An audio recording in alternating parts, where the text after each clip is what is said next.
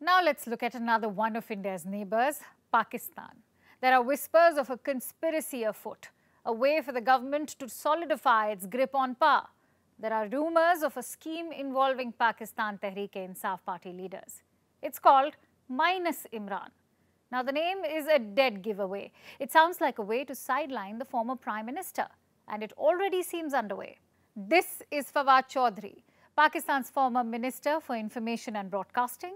He was once a staunch Imran Khan loyalist, but he recently quit the party, allegedly over the violent protests that rocked the nation on 9th May. Remember, violence had erupted during the protests. People even burnt down Pakistani military buildings. The Pakistani regime says Imran Khan orchestrated these attacks. Fawad Chaudhry and several other leaders quit the PTI after the protests. Chaudhry was supposed to be taking a break from politics, but it seems he's had a change of heart. Yesterday, he went to visit a former colleague who's currently in jail, Shah Mahmood Qureshi, Pakistan's former foreign minister, the vice chairman of the Pakistan Tehreek-e-Insaf party, and Imran Khan's right-hand man. This is what Chaudhry told reporters after the visit. We met Shah Mahmood Qureshi a little while ago. We held detailed talks with him. Our belief is that Pakistan needs to move towards a strong future. We need to bring forth and move towards solutions, and we will bring about solutions. He then said that the 250 million people of Pakistan could not be left at the mercy of the ruling regime. It sounds like a plot to get Qureshi to defect, to abandon Imran Khan. But Khan may have seen this coming. Around a week ago, the PTI chief had earlier declared Qureshi as his replacement.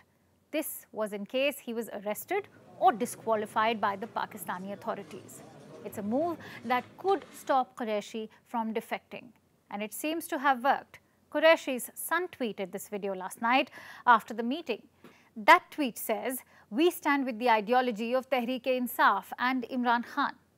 Khan released an address to the nation yesterday. He claimed the government was targeting him and his party candidates.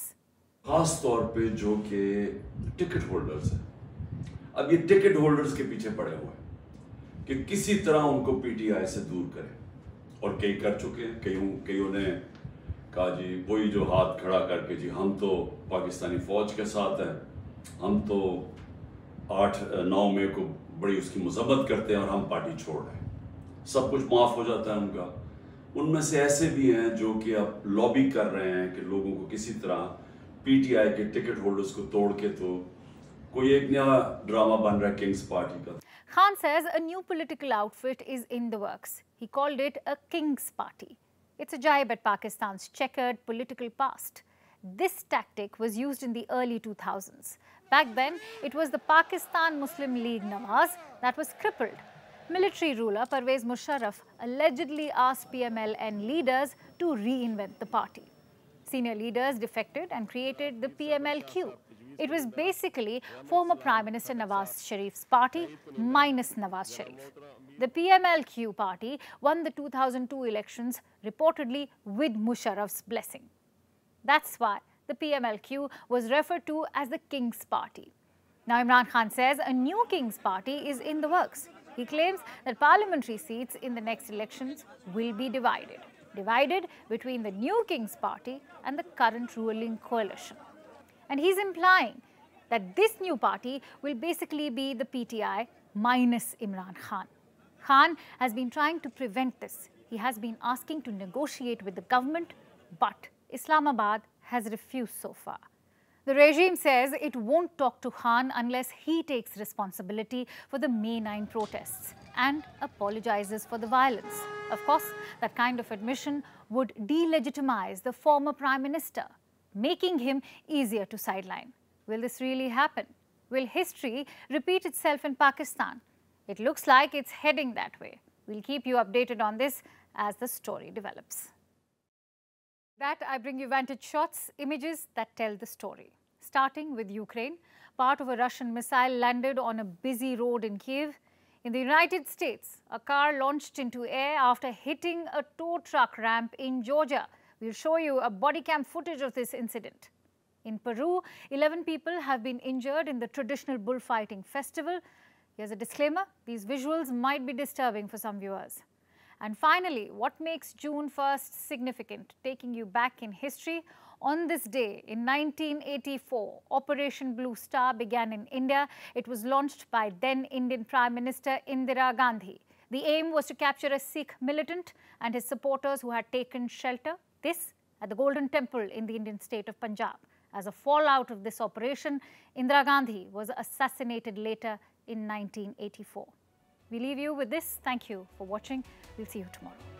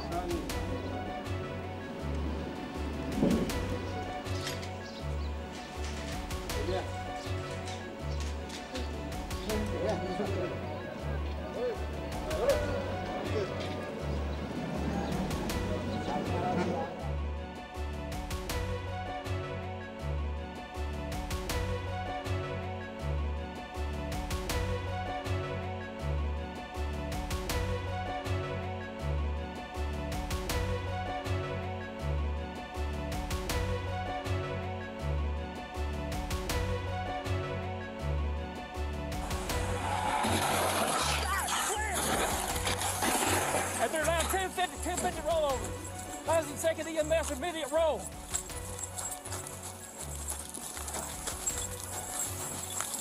Previous 1050, 84.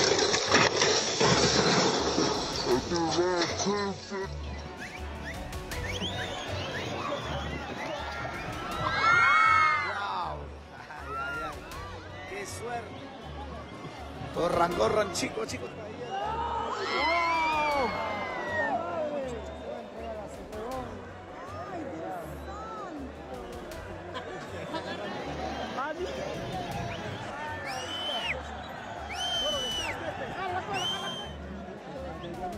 Amen.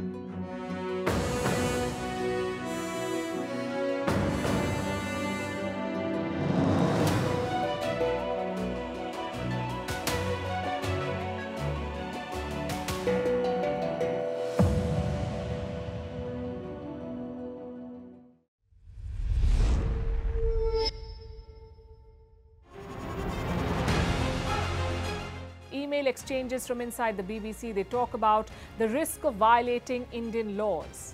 It's easier to rake up the freedom of speech debate, but does it give anyone a free pass to knowingly violate the law? America supports India because it needs India's support in return. And India is working with the US because it suits India's interests. This is how geopolitics works. Last night, he diffused a crisis with his defense minister. But today, Netanyahu was confronted with a new problem. His cabinet seems to have rebelled against him. The UK is looking at the Indian subcontinent to fill its coffers. That India seems to be negotiating from a position of power, like a partner and not a former colony.